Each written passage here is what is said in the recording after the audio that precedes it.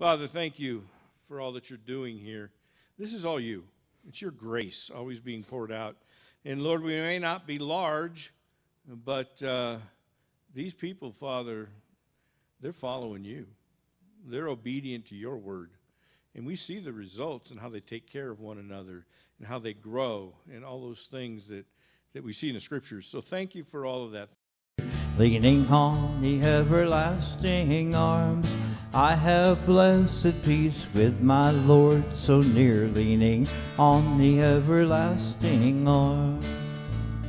Leaning, leaning, safe and secure from all alarms. Leaning, leaning, leaning on the everlasting arms. Your turn. Leaning.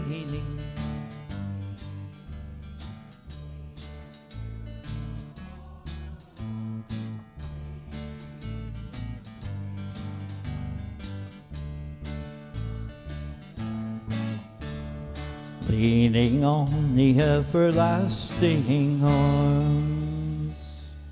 Amen. Leaning on his arms, safe in his embrace, experiencing a taste of the kingdom, the here, but not yet. But it's coming. The fullness his kingdom. May your kingdom come. May your will be done on earth as it is in heaven. May your kingdom come. May your will be done on earth as it is in heaven.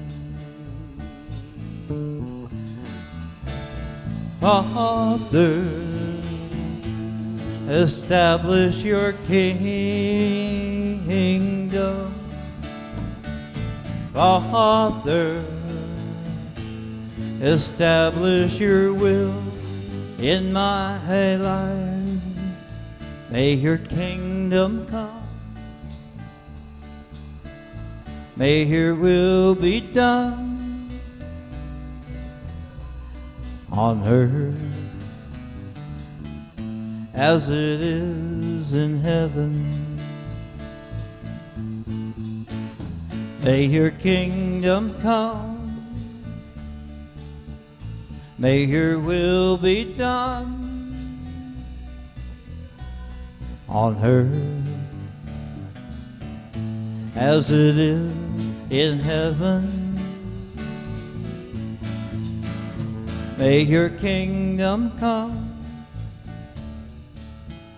May your will be done on earth as it is in heaven. Jesus, establish your kingdom. Jesus, establish your will in my life. May your kingdom come. May your will be done on earth as it is in heaven. May your kingdom come. May your will be done on earth as it is in heaven. Hallelujah. May your will be done on earth as it is in heaven. It means we're agreeing with what he says. Amen. We're seeking to find out what his will is. We were talking about this Wednesday night. So often people, believers, think of prayer as a a way to talk God into getting what you want if we can just get him to change his mind. No, he's changing your mind so that you would receive his will that is already spoken in heaven, that you would agree that that is how it should be here on earth. And then you find yourself able to ask anything in his name because you're directly attached to his will.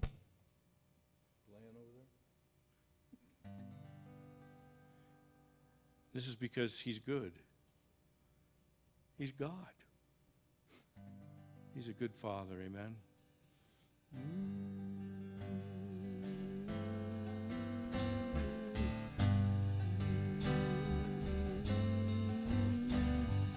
I've heard thousand stories of what they think you're like, but I've heard the tender whisper of love in the dead of night, and you tell me that you're pleased and that I'm never alone. You're good, Father. It's who you are. It's who you are. It's who you are, and I'm loved by you. It's who I am. It's who I am. It's who I am. I've seen many searching for answers far and wide, but I know we're all searching for answers. Only you provide because you know just what we need before we say a word. You're good, good Father. Who you are. It's who you are. It's who you are, and I'm loved by you. It's who I am. It's who I am. It's who I am. You are perfect in all of your ways. You are perfect in all of your ways. Are perfect in all of your ways to us. Again. You are perfect in all of your ways. You are perfect in all of your ways. You are perfect in all of your ways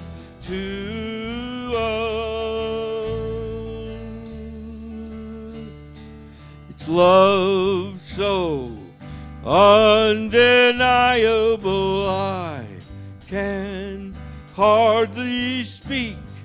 Peace so unexplainable I can hardly think as you call me deeper still as you call me deeper still as you call me deeper still into love love. You're a good good father. It's who you are. It's who you are. It's who you are. I'm loved by you. It's who i am it's who i am it's who i am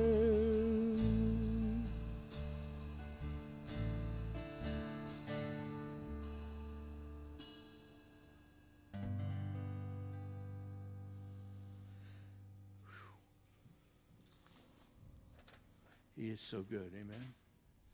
He's good. Not just the way we define the word.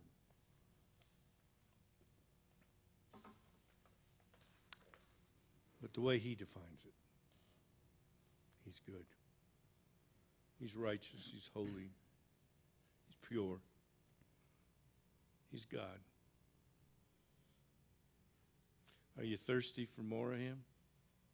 You want more of God? I know it's tough when somebody asks that.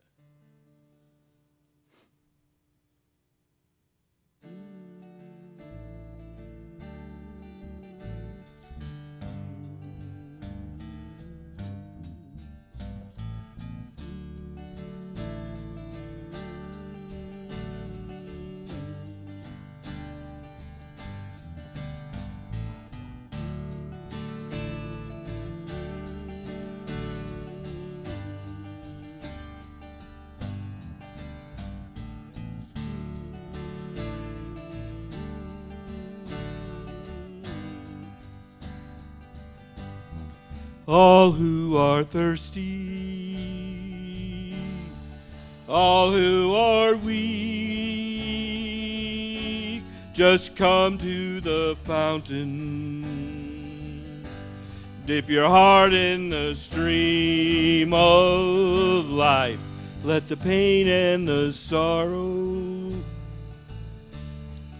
be washed away in the waves of his mercy. As deep cries out to deep, we sing, Come.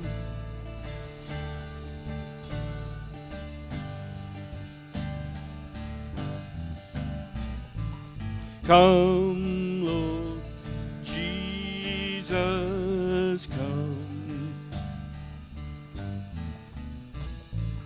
Come, Lord Jesus, come.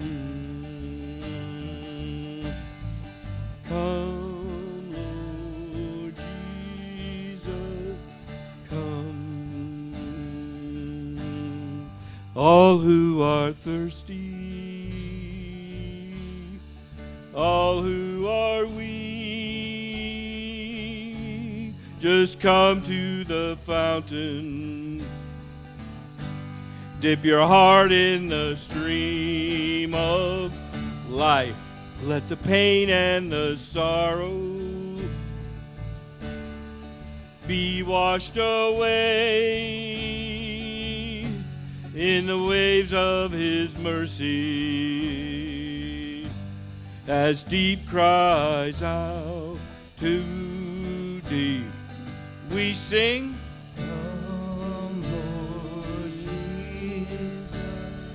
Nothing but your will for me. I'm only free in Come, Lord Jesus.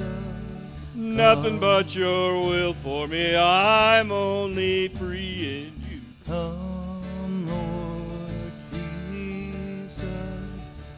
nothing but your will for me i'm only free in you Come, Lord Jesus. Come.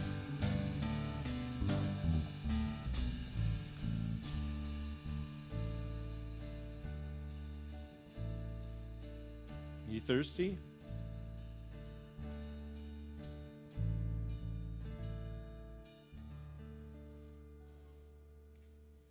Come, Lord Jesus. Psalm 29, 1 through 2, we read Ascribe to the Lord, O heavenly beings, ascribe to the Lord glory and strength. Ascribe to the Lord the glory due his name. Worship the Lord in the splendor of his holiness.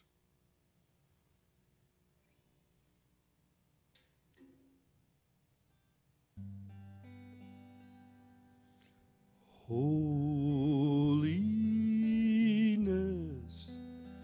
unto the Lord, unto the King. Holiness unto your name I will sing holiness unto Jesus, holiness unto you, Lord, holiness unto Jesus, holiness unto you, Lord.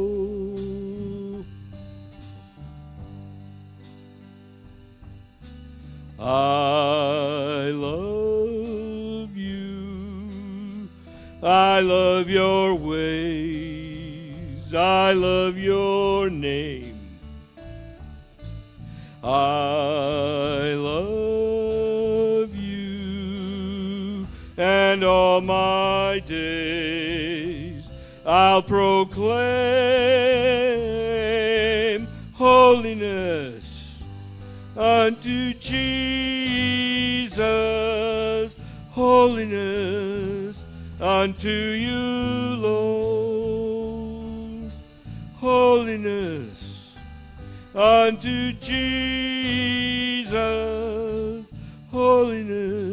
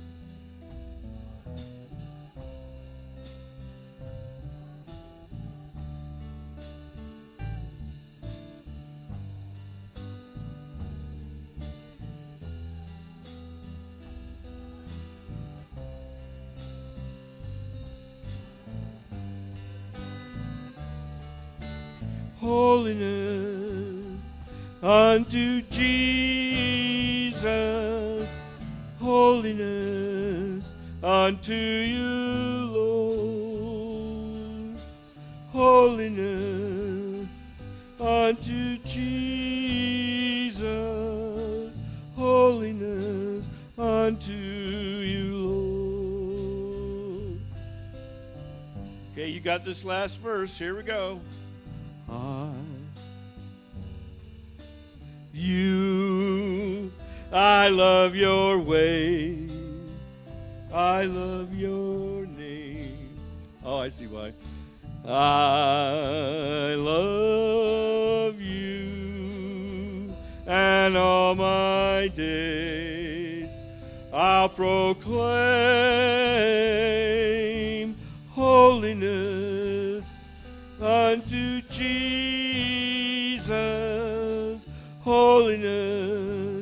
Unto you, Lord,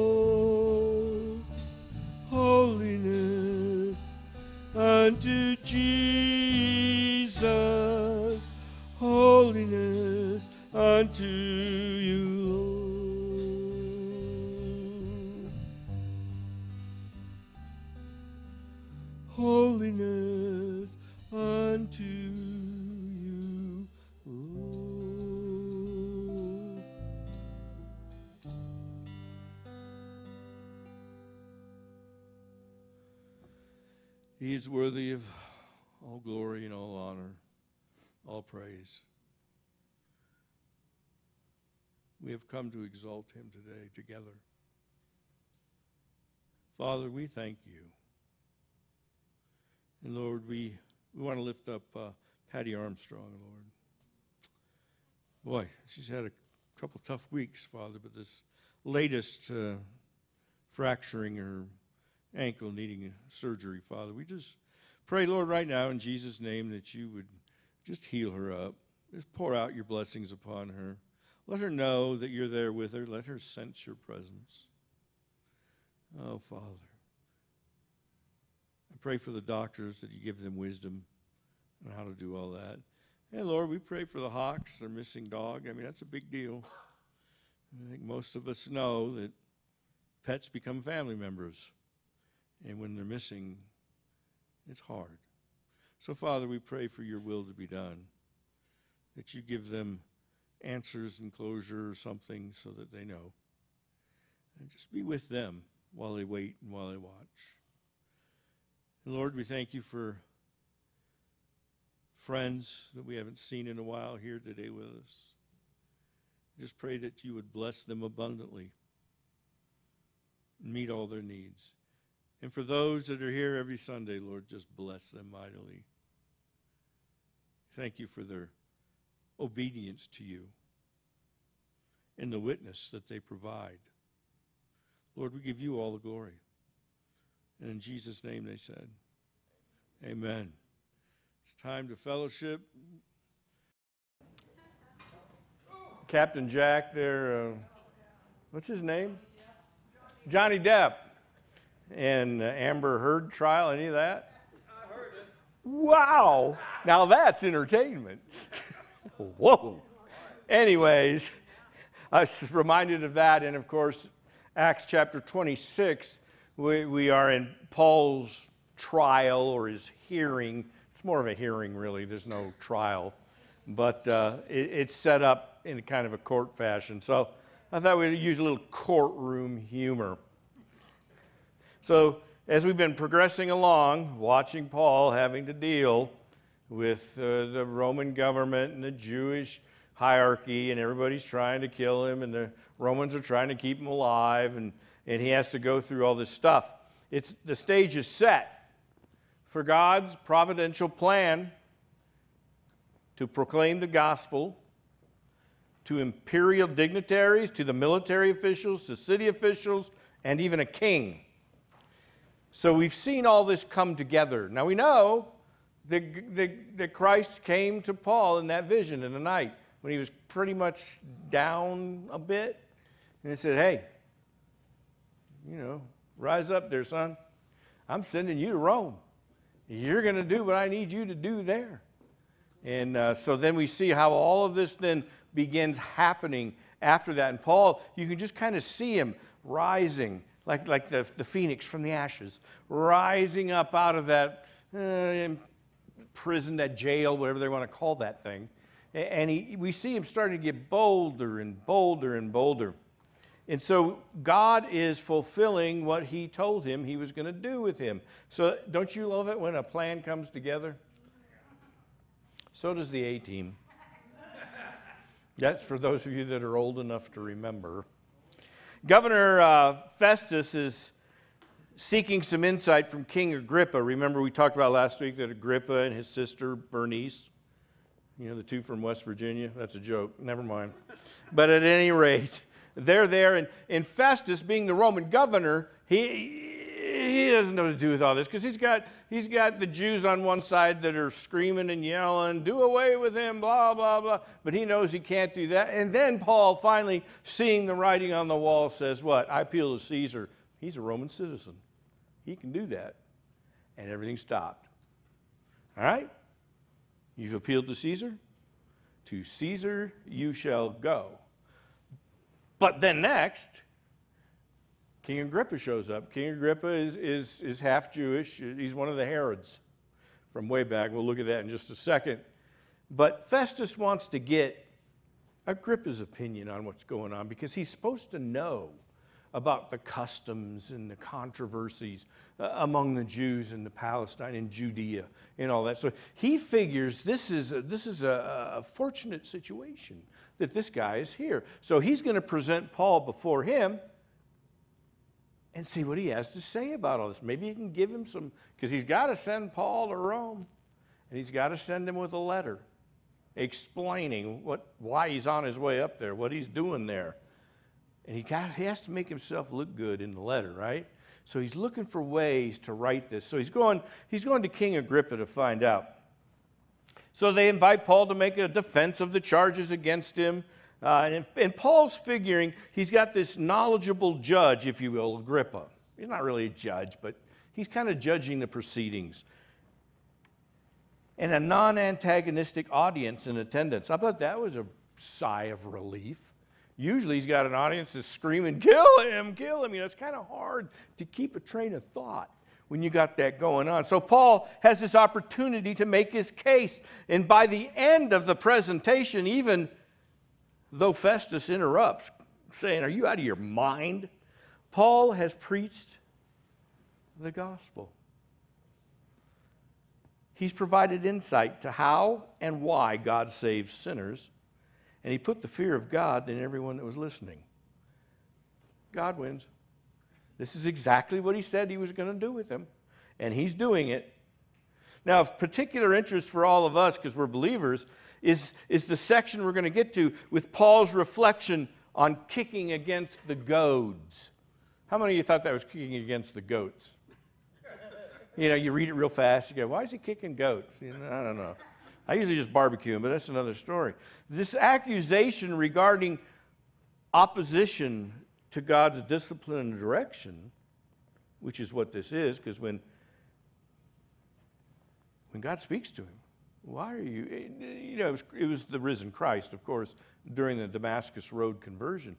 But he said to him, It's not easy, it's not good kick against the goads. Dummy. He didn't say dummy, I added that. But he's trying to tell him, you need to buckle under here, buddy. I'm choosing you to do this. you don't have any choice. This is my will, and you're going to serve me. Well, who are you, Lord? I am Jesus, who you persecute. Oh, no, no. I didn't mean it was just those other idiots that I said, those idiots are my body. You persecute them, you persecuted me. Now, rise up and let's go. Wouldn't that have been something to see, to experience? Wow. You see, we're going to look at this whole thing about kicking against the goads, which is God's discipline and direction in our lives. We'll be asking ourselves, why do we kick against the goads?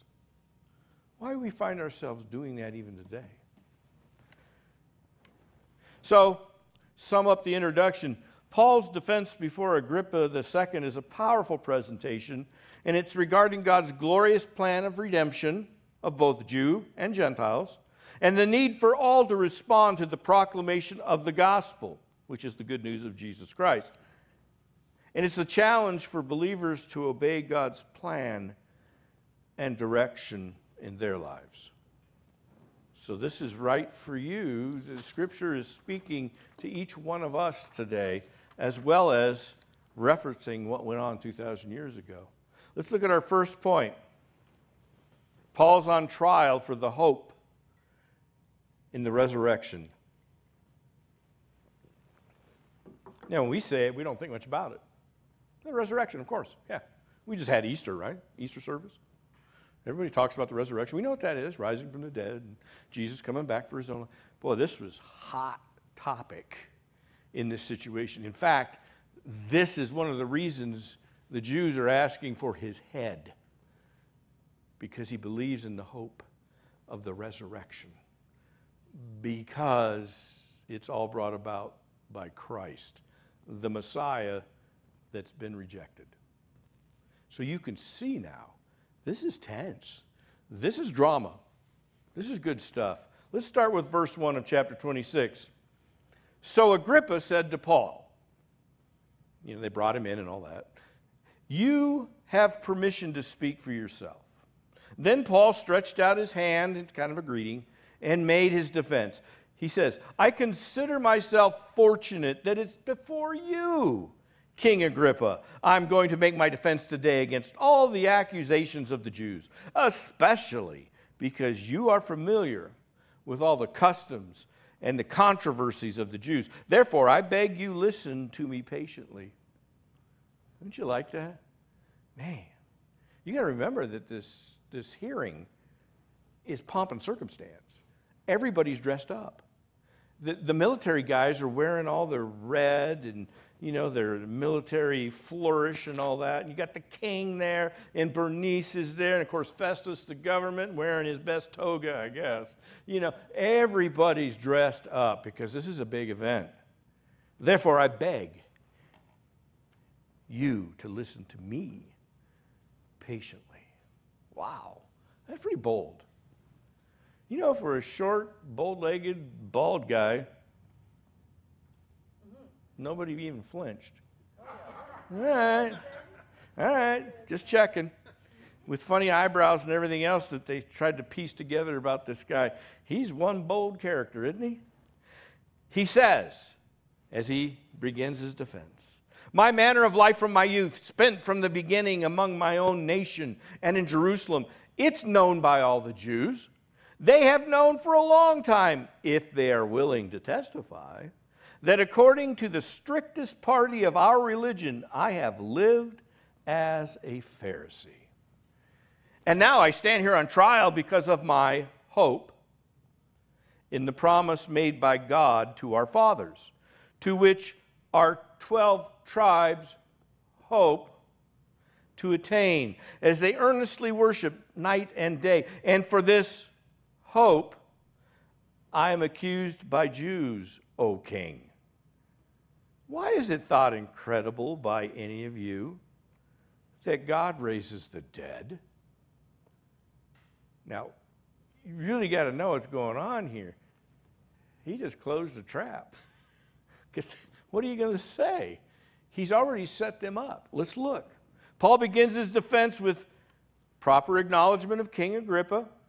You know, he's kind of kissing up a little bit. He states how fortunate he is to have a qualified person in Jewish controversies and customs to hear his case. Now, think about that for a minute. He's had the Jewish hierarchy yelling at him for two years now.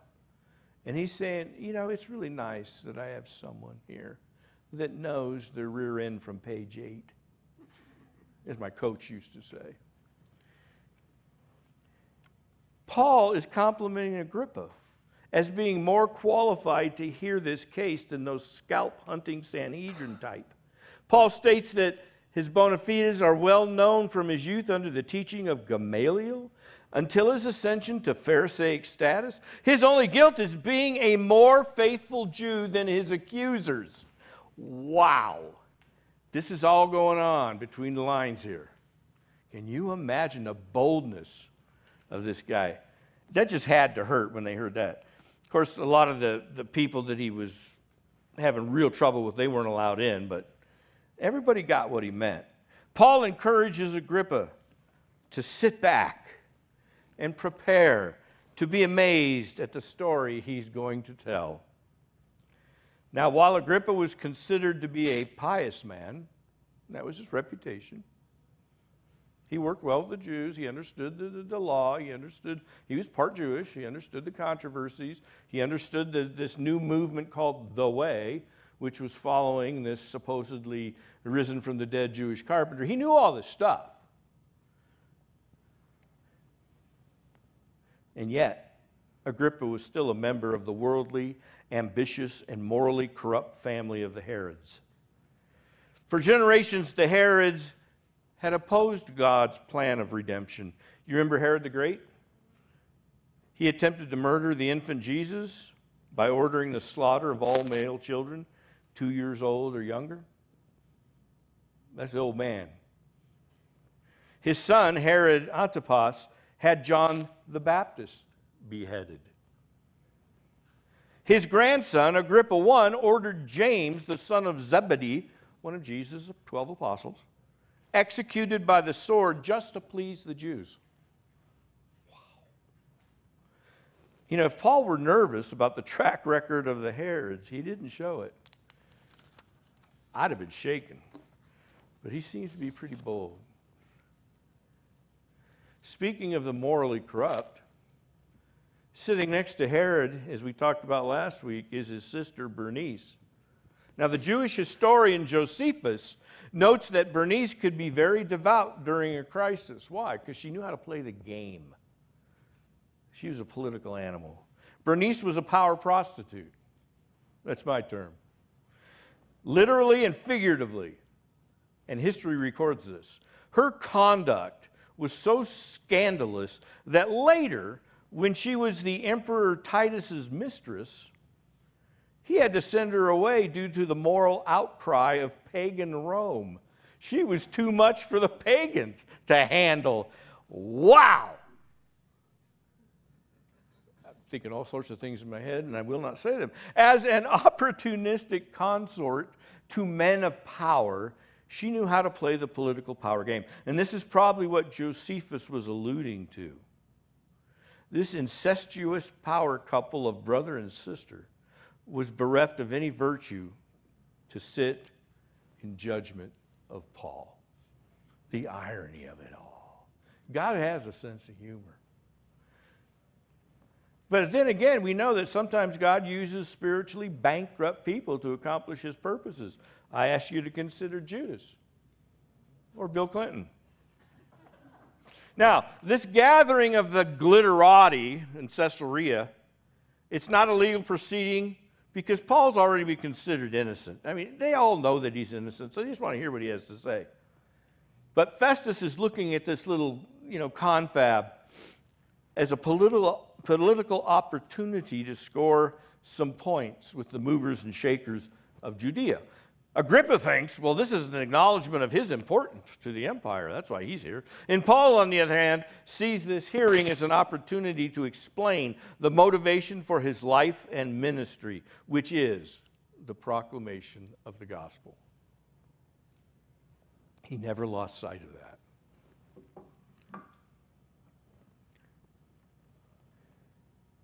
We saw that Paul in the scriptures here briefly recites his youthful education, his ascendancy to the Pharisaic party.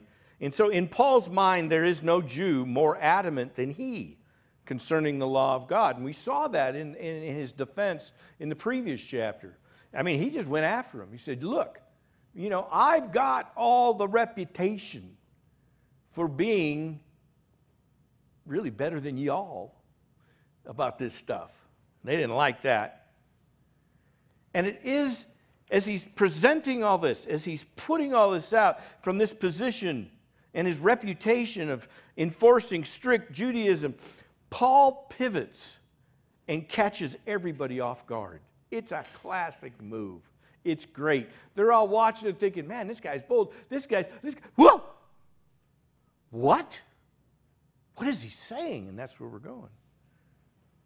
You see, we've been alerted to the main theme here. Paul uses the word hope three times, and he asserts that he's on trial for his hope in the promise of God to the fathers Abraham, Isaac, Jacob, and the people of Israel. He's on trial for his hope in the promise of God to the fathers and the people of Israel. And what is the great hope and promise? It is the hope that God raises the dead. It is the hope in resurrection life that will result in ruling and reigning with God throughout eternity. And by the way, in the New Testament, when you find the word hope, it's not a wishy washy hope like in English. Oh, I hope, I hope, I hope, I hope that comes to pass, but I'm not sure. I hope. No, in the New Testament, it's guaranteed. You could switch the word to guaranteed. The only difference, and the reason they call it hope, is it hasn't happened yet but it's guaranteed. So in the Greek, when they're using the word hope, they mean it's a done deal. We're just waiting for it all to happen.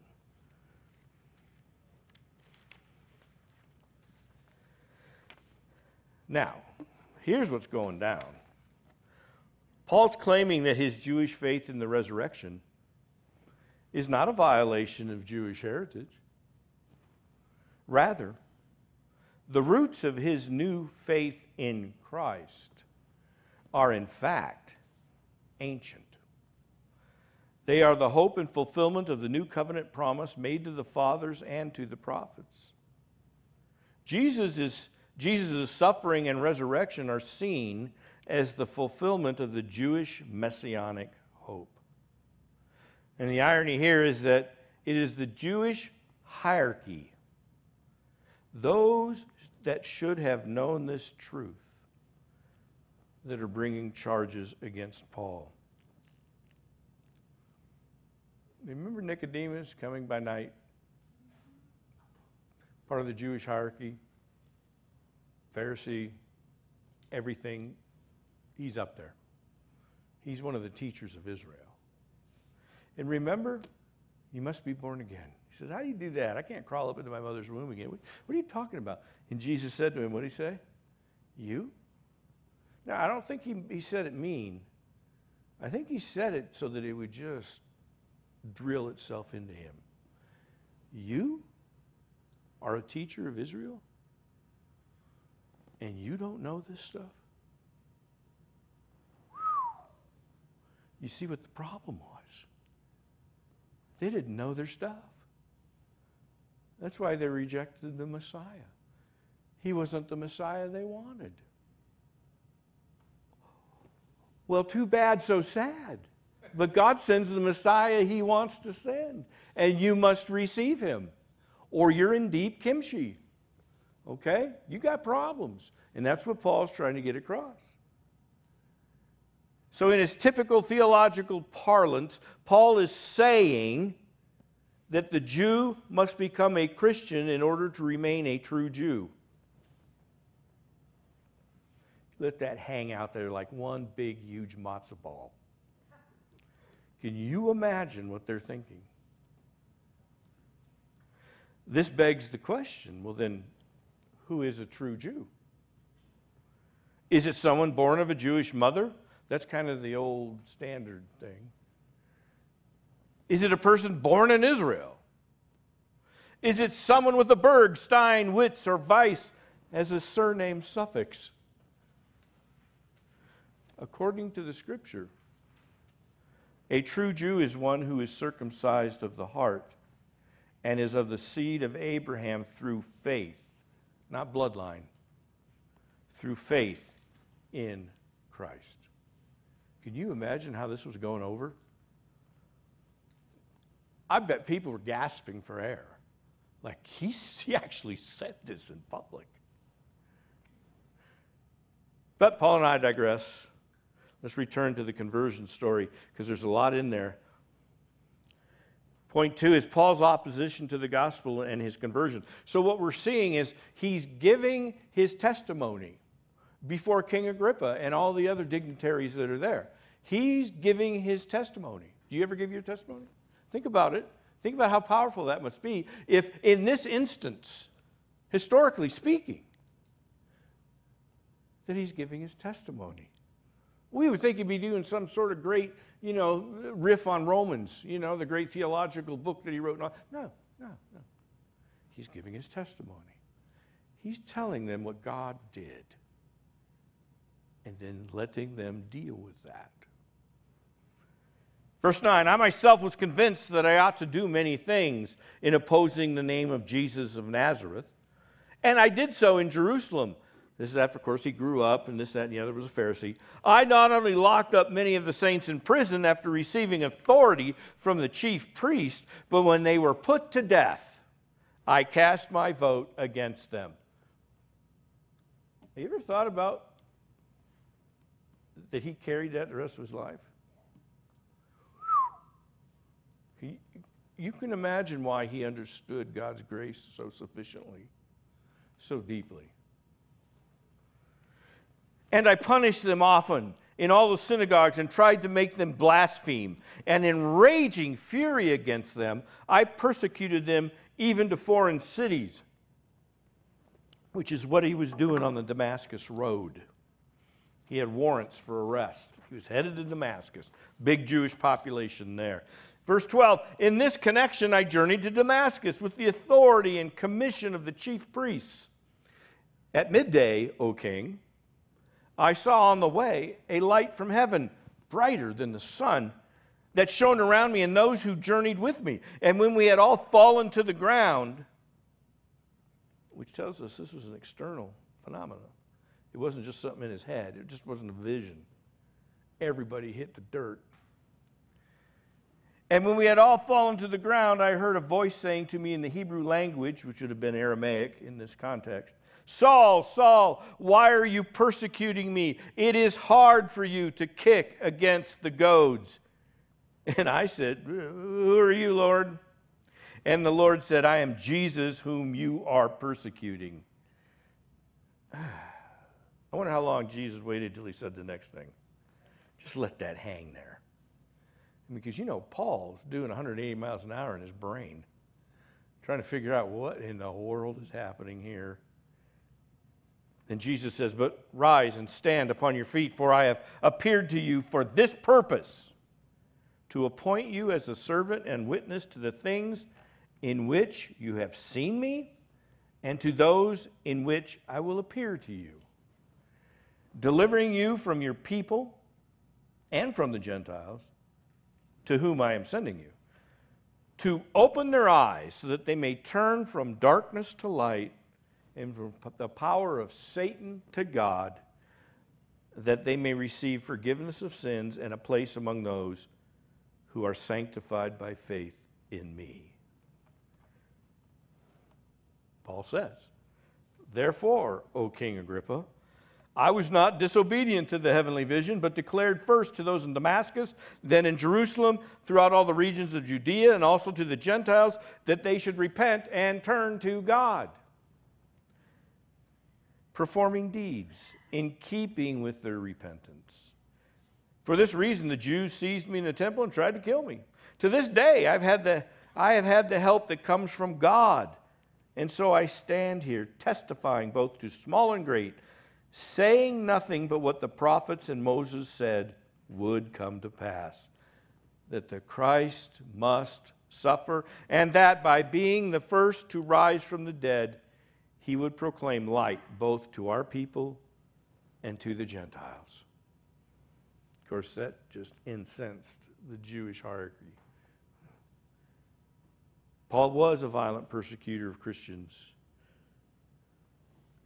And Christ arrested him on the road to Damascus. And he appeared to him in a theophany of some type. He accused him of persecuting him, which brings to mind the fact that when we go after brothers and sisters, you got to be careful because you're going after Jesus.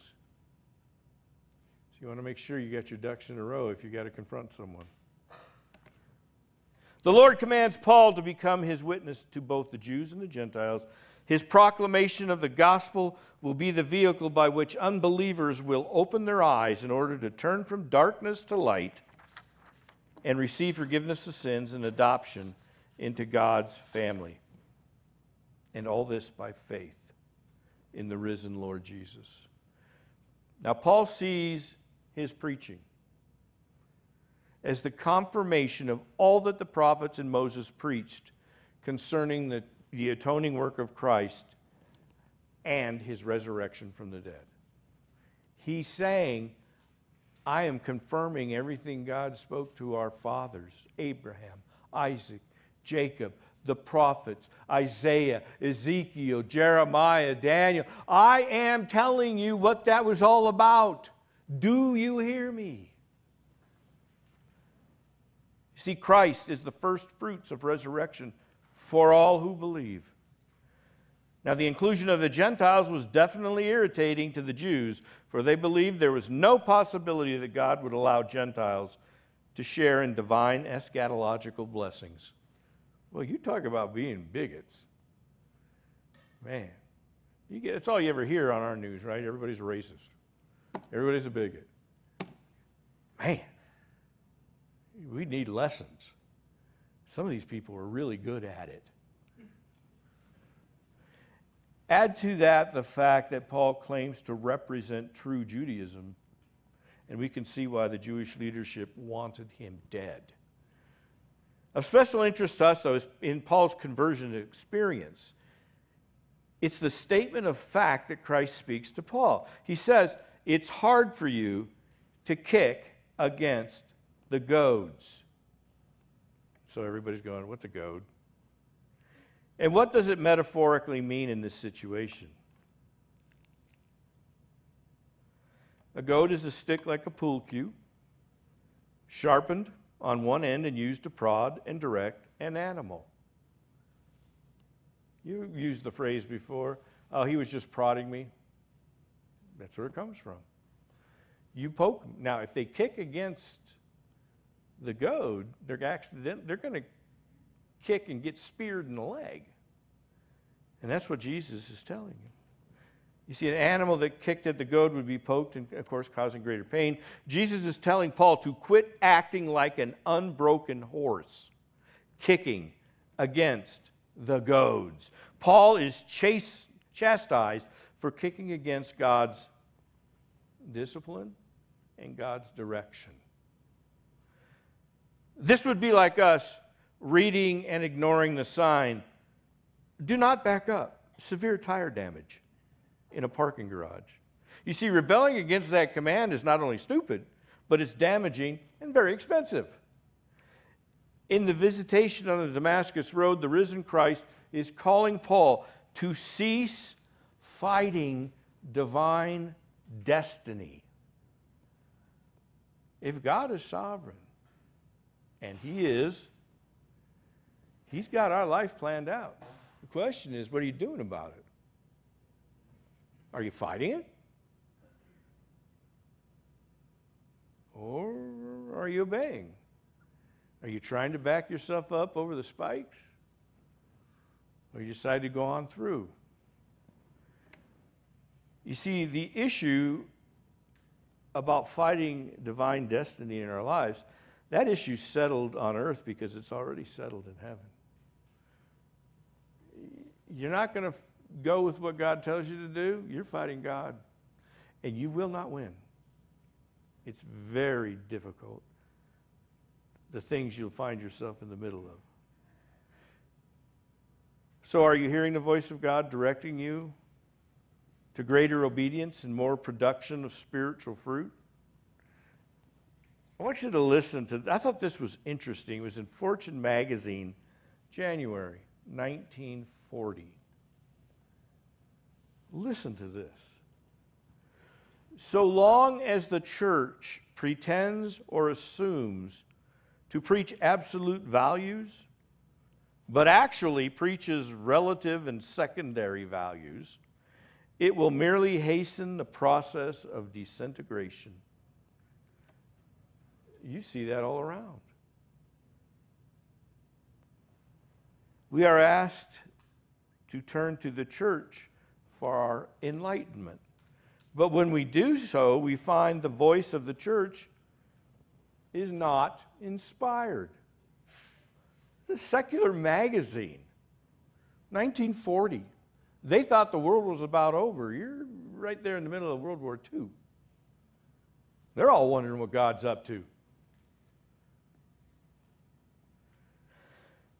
The voice of the church today, we find, is the echo of our own voices. When we consult the church, we hear only what we ourselves have said.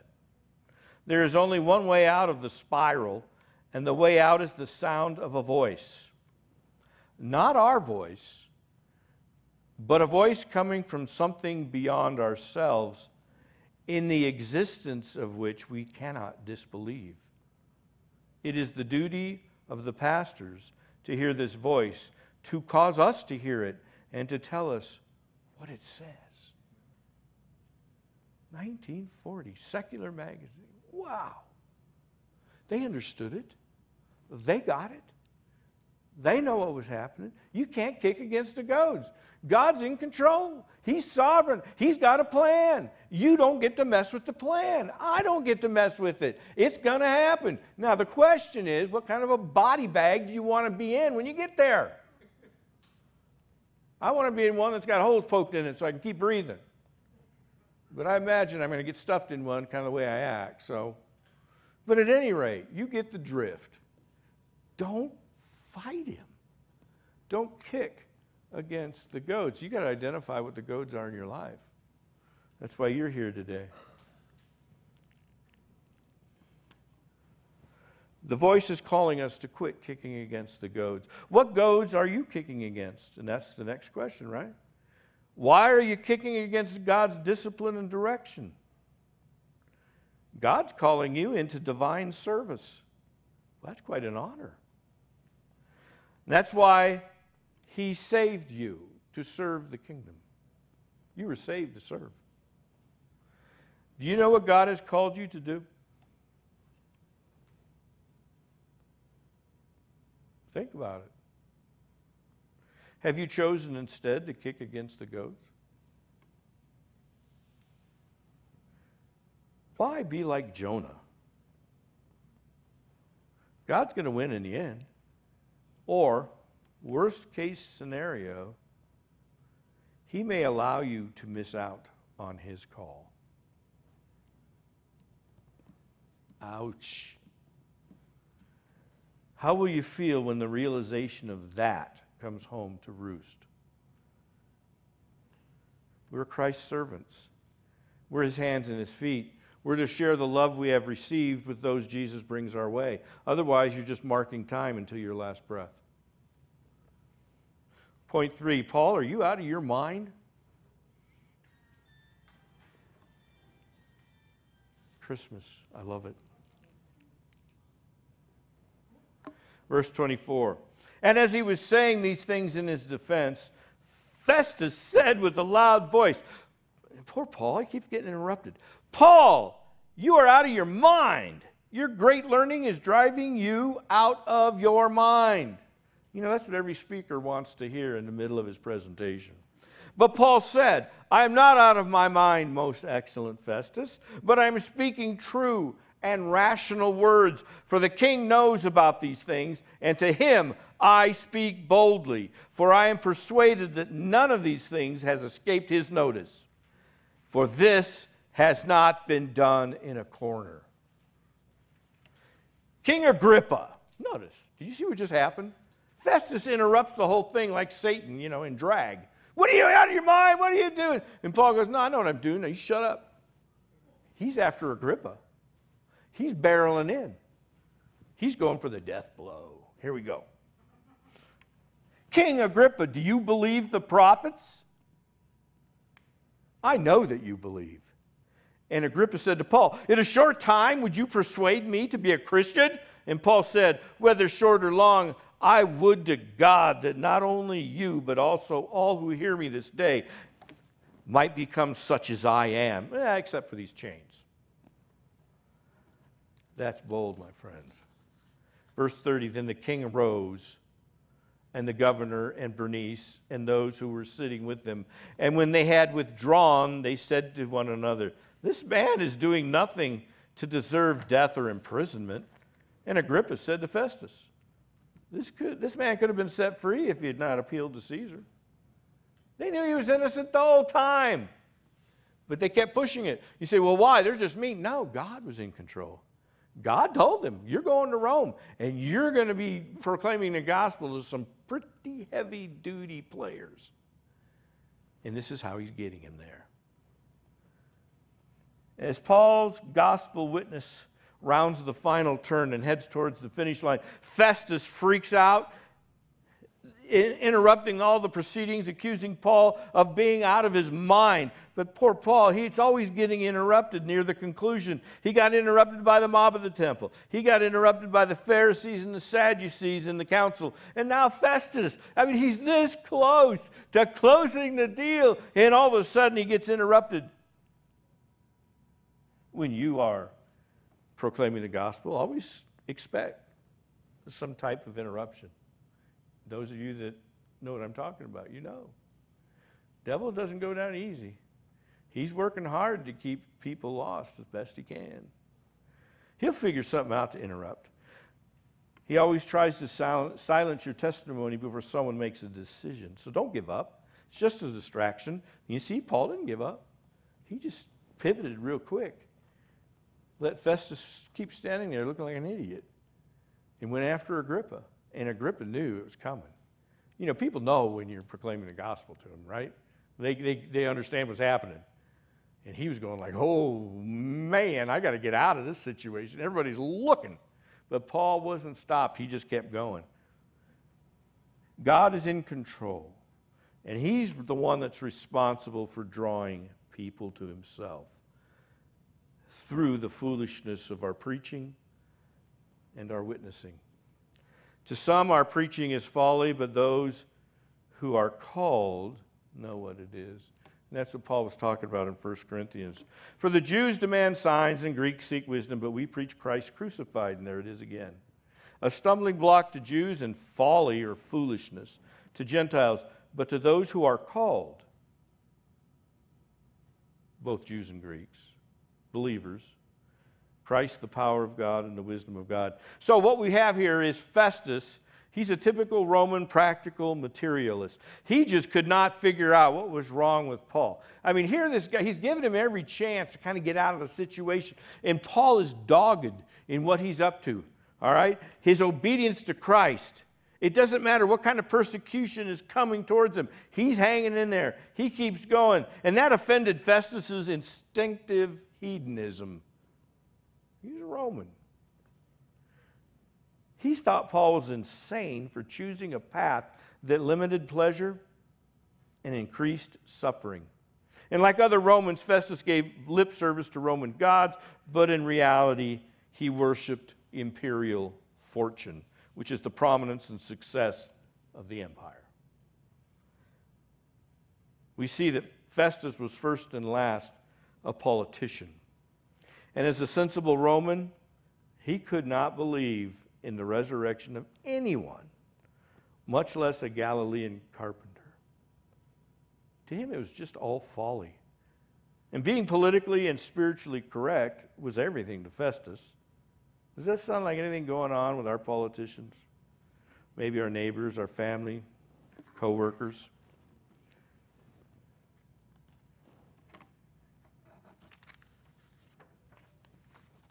As we saw, Paul deflects Festus's insult and calls for a response from Agrippa. The king knows everything that Paul is saying is public knowledge. His words are true, and nothing has been done in secret. Paul's out there, he's open. And Paul calls on Agrippa to acknowledge his faith in the words of the prophets, which would demand a decision for Christ as being the fulfillment of God's redemptive plan.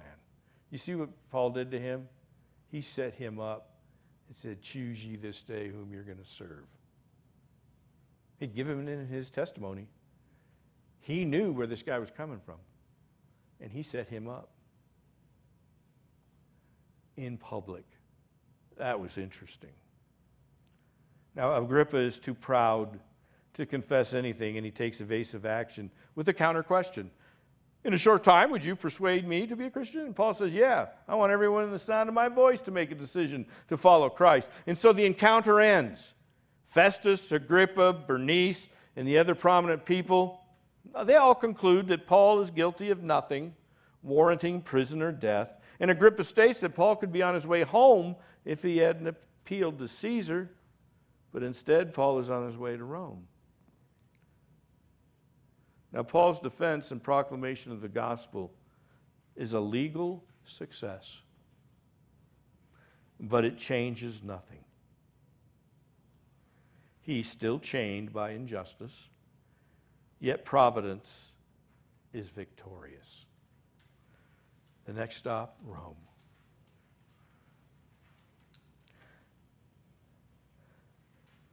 We wrap it up, Paul has provided us an example of being ready at any time to fearlessly share the good news of Jesus Christ. If we want to share Christ with others, God will provide the opportunities. You want to, just ask Him. He will. That's why you're here to give your testimony, to tell them about Jesus. The Great Commission, remember that? That whole thing? That's why we're here. You want an opportunities to share your faith, to share the gospel? Just ask him.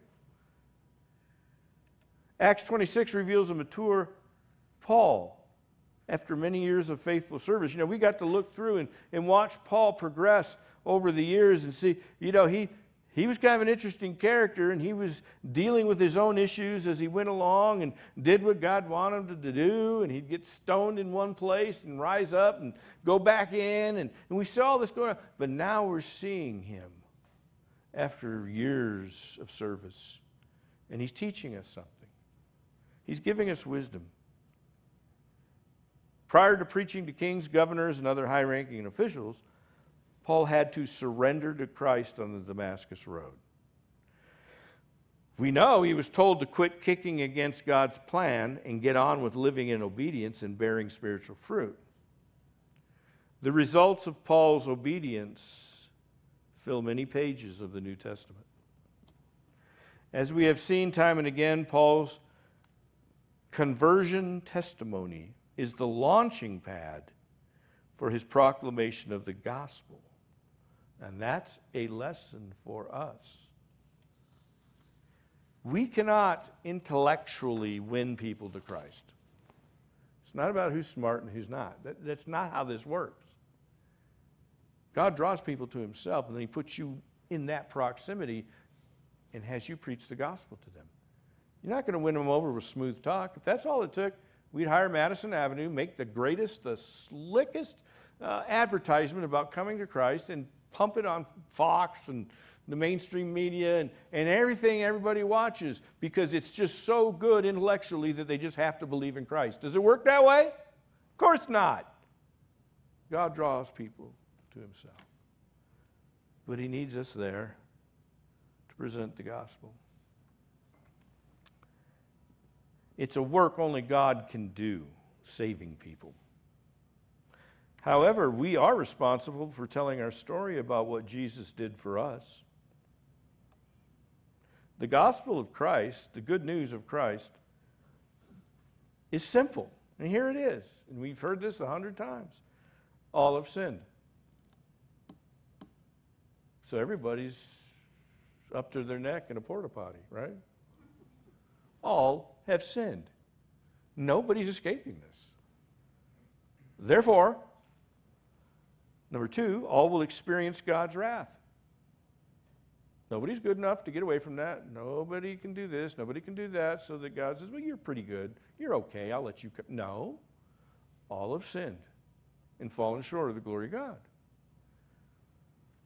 However, because that's that's kind of heavy news, those first two, right? But the third one is that Jesus came to rescue us from God's wrath. Ha ha! A lifeboat, a lifeline, a life ring has been thrown to us as we bob up and down in the sea of sin and we can't get ourselves out.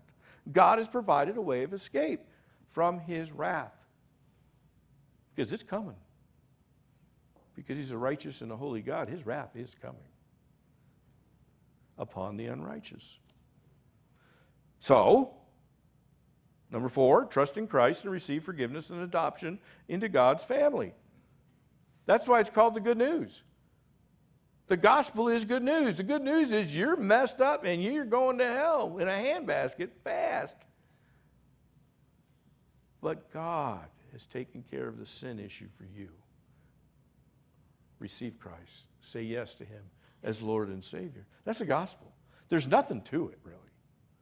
It's just a statement of facts that all come from the Scripture. Jesus took our punishment and gave us his righteousness. And they all said, All right, that's the rescue. He took our sins upon himself on the cross and, in, imputed to us his very righteousness so that the sin issue no longer is a plague for us. We're good to go. That's good news. As you can see, the gospel's not complicated, and you don't have to be a genius to share it or to receive it. What makes your gospel presentation compelling for the person hearing it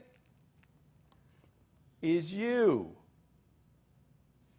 Did you ever consider how important your testimony is about what God has done for you? Now we think, well, er, you know, everybody has a testimony and people get bored. No, if you've been put in a situation where God's having you witness to someone, give them your testimony as part of the gospel presentation, just like Paul did. Because it's you that's telling it. And they're there because God wants them there to hear your story. That's how important you are. Your story is compelling because you're telling it. And people that are there because God brought them there, they're intrigued because they know you. And they can't figure out why God would save you. Your personal testimony is a powerful narrative of what Christ did for you. Your personal story is what God has provided you for doing the work of an evangelist. We all are evangelists. That's why we're here.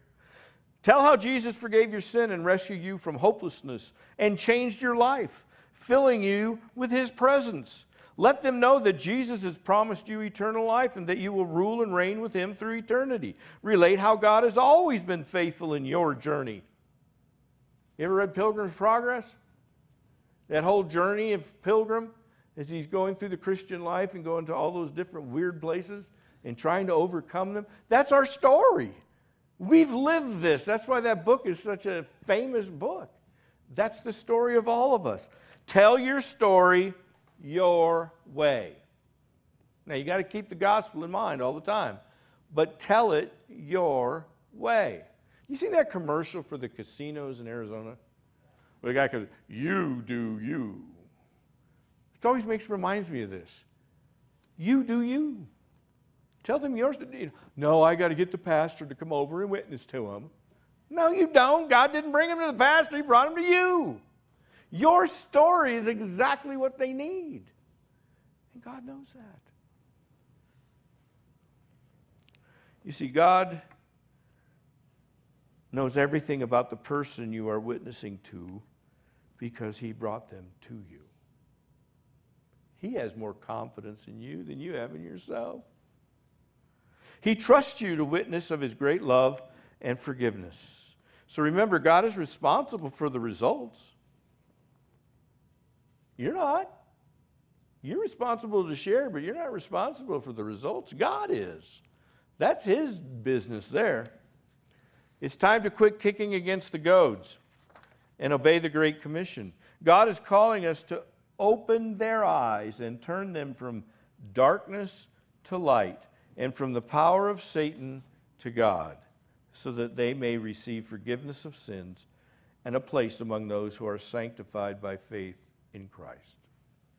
And that, my friends, is a high calling and a very special privilege. Father, we thank you that you have called us to serve you, to proclaim the gospel.